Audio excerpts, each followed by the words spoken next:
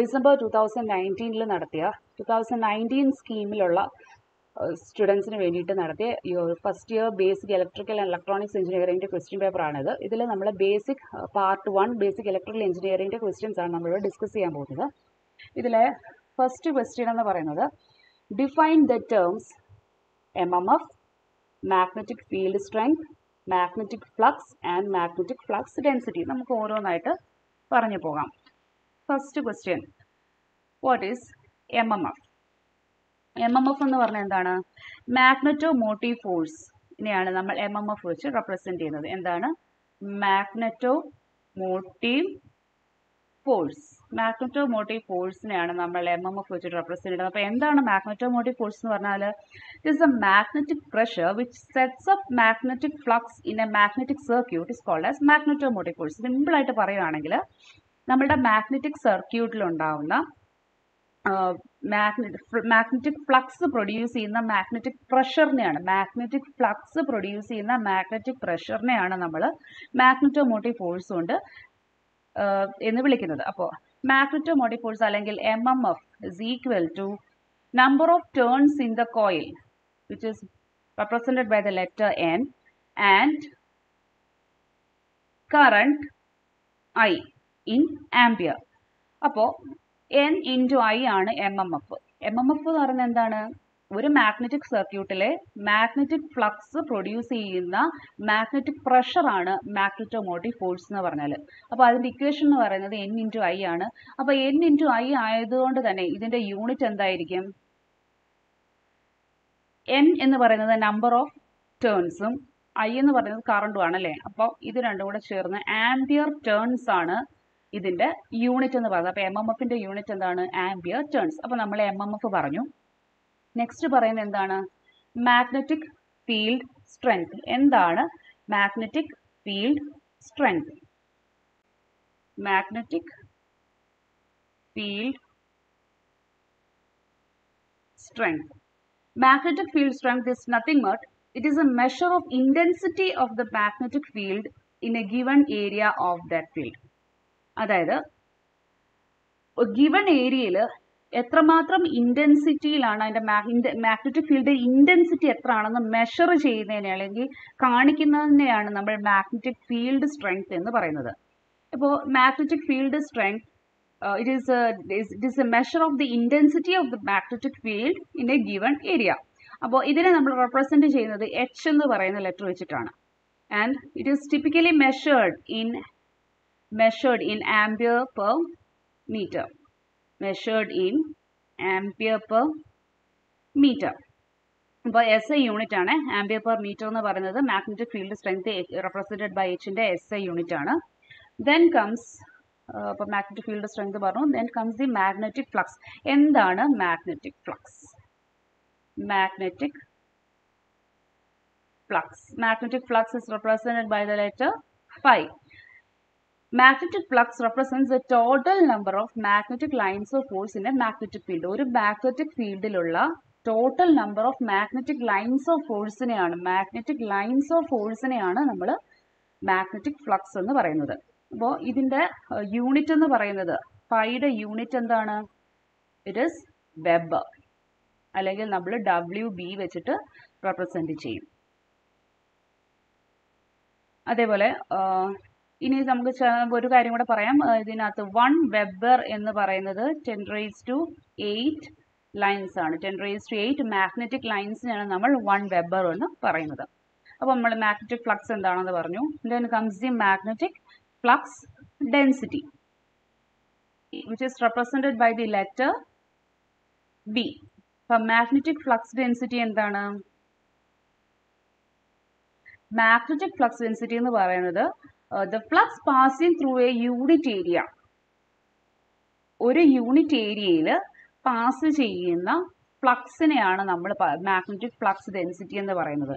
അപ്പോൾ ബി എന്ന് പറഞ്ഞ എന്താണ്?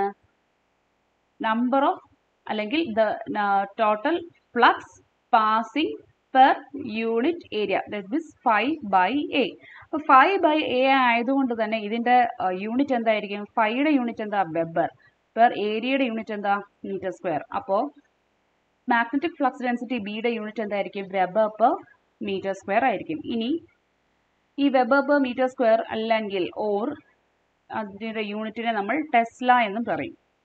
അത് വേറൊരു യൂണിറ്റ് ആണ് ടെസ്ല ഒന്നെങ്കിൽ വെബർ പെർ മീറ്റർ സ്ക്വയർ അല്ലെങ്കിൽ ടെസ്ല അപ്പോൾ ഇതാണ് നമ്മുടെ first question M M F എന്താണ്? മാഗ്നറ്റിക് ഫീൽഡ് സ്ട്രെങ്ത് എന്താണ്? മാഗ്നറ്റിക് ഫ്ലക്സ് എന്താണ്? മാഗ്നറ്റിക് ഫ്ലക്സ് ഡെൻസിറ്റി എന്താണ്? അപ്പോൾ നമ്മൾ ഓരോ ടേമും ഡിഫൈൻ ചെയ്ത് പറയുമ്പോൾ അതിന്റെ ഇക്വേഷനും അതിന്റെ യൂണിറ്റും എഴുതാൻ മറക്കരുത്. അപ്പോൾ moving to the next question state and explain Faraday's laws and Lenz's law എന്താണ് പാരഡൈസ് ലോസും എന്താണ് ലെൻസസ് ലോസും അപ്പോൾ ഫസ്റ്റ് നമുക്ക് പാരഡൈസ് ലോസ് പറയാം.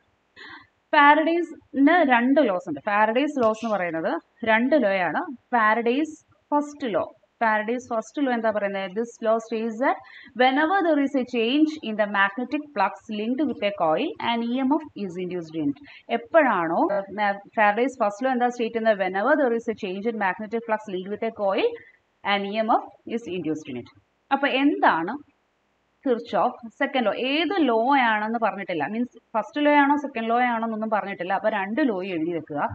ഫസ്റ്റ് ലോ ഇന്നതാണെന്ന് എഴുതി വെക്കുക. അപ്പോൾ സെക്കൻഡ് ലോ എന്താണ്? The Faraday's second law states that the magnitude of the induced EMF is equal to അവിടെ ഉണ്ടാകുന്ന ഇൻഡ്യൂസ്ഡ് ഇ എം എഫ് എന്തിന് ഈക്വൽ ആയിരിക്കും? Is equal to the rate of change of magnetic flux linking with that circuit അവിടെ ഉണ്ടാകുന്ന induced induce ചെയ്യപ്പെടുന്ന E M F എന്ന് പറയുന്നത് എത്രമാത്രം ഫ്ലക്സ് ആ കോയിലിൽ ലിങ്ക് ചെയ്തിരിക്കുന്ന ഫ്ലക്സിന് എത്രമാത്രം വേരിയേഷൻ ഉണ്ടോ അത്രമാത്രം വേരിയേഷനെ ഡിപ്പെൻഡ് ചെയ്തിരിക്കുന്നു എന്നാണ് അതിന് ഈക്വൽ ആയിരിക്കും എന്നാണ് നമ്മുടെ സെക്കൻഡ് ലോ പറയുന്നത്. അപ്പോൾ ഈ രണ്ട് ഇക്വേഷനും കൂടി ചേർത്തിട്ട് നമുക്ക് ഇവിടെ ഉണ്ടാവുന്ന E M F E is equal to N into D phi by D T എന്ന് കിട്ടും. നമ്മുടെ പാരഡൈസ് ലോസ് വെച്ചിട്ട് ഇൻഡ്യൂസ് ചെയ്യപ്പെടുന്ന ഇ എം എഫ് ഇയുടെ ഇക്വേഷൻ എന്ന് പറയുന്നത് E is equal to N into D phi by D T ആണ്. അവിടം വരെ എഴുതി വെക്കുക. ഇനി സെക്കൻഡ് ക്വസ്റ്റ്യൻ എന്താണ്? What is Lenz's law Lenz's law എന്ന് പറയുന്നത് ഫാരഡേസ് ലോസിന്റെ ബാക്കിയായിട്ടാണ് പറയുന്നത്. എന്താ പറയുന്നത്? ഇങ്ങനെ ഉണ്ടാവുന്ന അപ്പം ഫാരഡേസ് ലോ പറഞ്ഞത് ഒരു ഇ എം എഫ് ഇൻഡ്യൂസ് ചെയ്യപ്പെടുന്നു പറഞ്ഞു. ലെൻസസ് ലോ പറയുന്നത് എന്തിനാ? ഇവിടെ ഇൻഡ്യൂസ് ചെയ്യുന്ന ഇ എം എഫിന്റെ ഡയറക്ഷൻ ആണ് ലെൻസസ് ലോ പറയുന്നത്. Direction of the induced M F അല്ലെങ്കിൽ current is given by the Lenz's law എന്താണ് ലെൻസസ് ലോ പറയുന്നത്? ലെൻസസ് ലോ എന്താ പറയുന്നത് it states that the direction of the induced E M F is such that it opposes the very cause which produces it ഉണ്ടാവുന്ന